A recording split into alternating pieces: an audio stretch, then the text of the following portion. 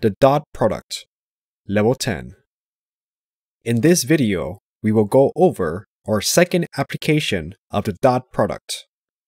Recall that the direction of a non-zero planar vector, v, can be conveniently described by using the angle theta, measured counterclockwise from the positive x-axis to the planar vector v. In a similar fashion, the direction of a non-zero vector v in space can be conveniently described in terms of the angle between vector v and the three unit vectors i, j, and k, which point along the direction of the positive x, y, and z axis, respectively. The angle alpha is the angle between vector v and the unit vector i hat.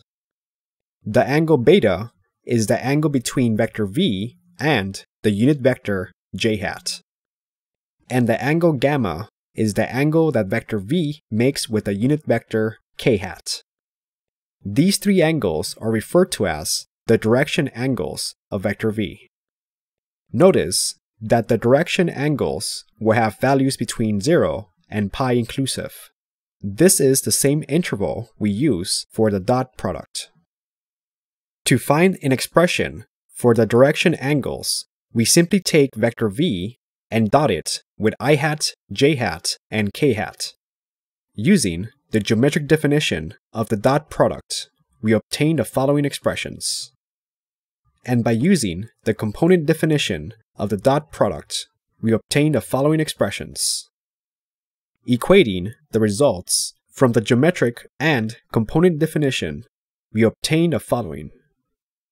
Finally, we solve for cosine of alpha, beta, and gamma in the first, second, and third expression, respectively. These expressions are referred to as the direction cosines of vector v. You can easily find the value of the direction angles by using inverse cosine. Consequently, any non-zero vector v in space has the normalized or unit vector form denoted as follows. By substituting the components of the normalized form with the direction cosines, we obtain an alternative version of the normalized form of vector v. This expression says that the direction cosines of vector v are the components of the unit vector in the direction of vector v. This expression essentially represents the scalar projection of vector v along the unit vectors i, j, and k. From this result, it follows that cosine of alpha squared plus cosine of beta squared plus cosine of gamma squared is equal to 1, since the normalized form of a vector v represents a unit vector with magnitude equal to 1. With this expression, we can see if only two of the direction angles are known, the third direction angle can be found by using this expression. Alright, let's go over a couple of examples and illustrate how to find direction angles and direction cosines. Find the direction cosines and direction angles of the vector. Round direction angles to the nearest degree. Alright, here we are given a vector in space, written in unit vector form. We are asked to find the direction cosines and direction angles of the vector. Let's first find the magnitude of vector v. Using the components of the vector and simplifying, we obtain the following for the magnitude of vector v. Next, let's use the expressions that we derived earlier and substitute the components of vector v and the magnitude of vector v. Doing that, we obtain the following values for the direction cosines. From these expressions, we can go ahead and find the direction angles by using inverse cosine. Evaluating the expressions and rounding to the nearest degree, we obtain the following values for the direction angles of vector v. These values represent the angle that vector v makes with the standard unit vectors. Also notice that the sum of the square of the direction cosines simplified to 1. This is a quick way to verify that you have the correct direction cosines. Alright, let's try the next example. Find the direction cosines and direction angles of the vector. Round direction angles to the nearest degree.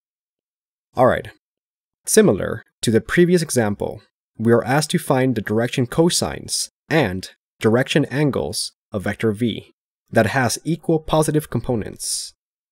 Let's start by finding an expression that represents the magnitude of this vector. Finding the sum of the square of the components and taking the square root, we obtain the following expression. Recall that the square root of a quantity squared is by definition equal to the absolute value of the quantity. But in this problem, we are given that the component c is greater than 0, meaning that the value is a positive number, so we can rewrite the expression for the magnitude as follows. Next, let's go ahead and find the direction cosines. Substituting the components and the magnitude of vector v, we obtain the following. And then we simplify, obtaining the following expressions for the direction cosines of vector v. Notice that the sum of the square of these values is equal to 1. Lastly, let's go ahead and take inverse cosine to solve for the direction angles. Evaluating the expression and rounding to the nearest degree, we obtain 55 degrees for all three direction angles. Alright, let's go over the final example. If a vector has direction angles, alpha and beta, find the third direction angle, gamma. Alright, here we're given two of the direction angles of a vector in space. We are asked to find gamma, the direction angle that the vector makes with the unit vector k hat. We can easily find this value by using the relationship cosine of alpha squared plus cosine of beta squared plus cosine of gamma squared is equal to 1. Let's go ahead and substitute these angles into the expression. Next, let's go ahead and solve for cosine of gamma squared. Now, let's evaluate the expression in the right side and simplify. We can now go ahead and take the square root of both sides. This will yield two distinct solutions, so we break apart this expression into two separate equations and solve for gamma separately. Taking inverse cosine and evaluating, we obtain the following angles for gamma. Alright, in our next video, we will go over our last application of the dot product and find the work done by constant forces.